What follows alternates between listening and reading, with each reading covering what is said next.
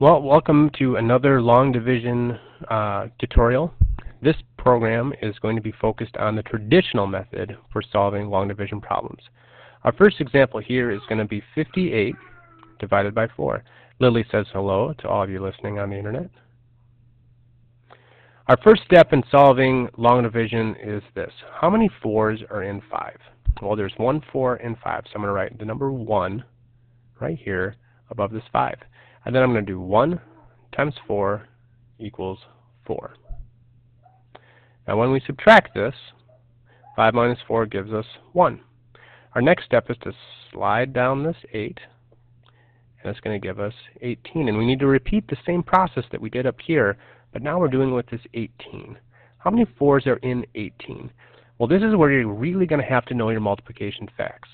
If you know that 4 times 4 equals 16, well then you're in great shape. But if you don't have your four facts memorized and you don't know your multiples of 4, it's going to be really helpful to have a multiplication chart next to you so that you can help yourself find the correct answer. Again, how many 4s are in 18? Well, we know that 4 times 4 is 16. So I'm going to write a 4 above the 8 and then multiply 4 times 4 equals 16. Now we subtract. 18 minus 16 is 2. And our final answer is going to be 14 with a remainder of 2. And the reason why we have a remainder of 2 is because this 4, there are no 4s in 2. We only have 2. We would need 2 more to have a complete 4, so this is left over, this is a remainder. Let's take a look at one more example. Let's do 65 divided by 3. The first step is to look at the 3 and say how many 3's are in 6.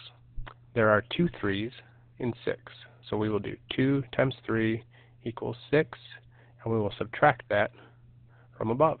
6 minus 6 is 0, and then we need to bring down our 5, when we do that, we ask ourselves basically the same process or the same question that we asked up here at the beginning with how many 3's were in 6. Now we're going to ask ourselves how many 3's are in this 5? Well, there's only one. 1 times 3 is 3, and then we're going to subtract. 5 minus 3 is 2. How many 3's are in 2? There aren't any 3's in 2, so this is going to be our remainder. Our final answer is going to be 21 with a remainder of 2. And if you don't practice with the light pen, you get sloppy results like that. So this was a kind of quick tutorial for the students primarily who are learning the traditional long division method. Um, really the best thing you can do to help yourself with the traditional method is to make certain that you practice your multiplication facts.